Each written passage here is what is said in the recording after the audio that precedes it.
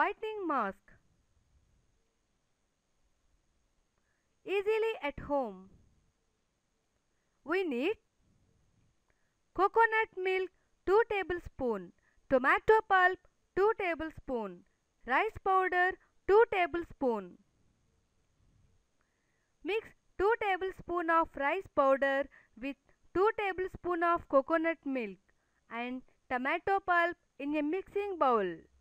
Apply the mask on your skin and leave it for 15 minutes until it is completely dry.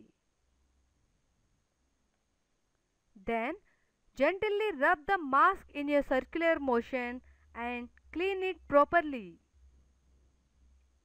Repeat this process daily for best results.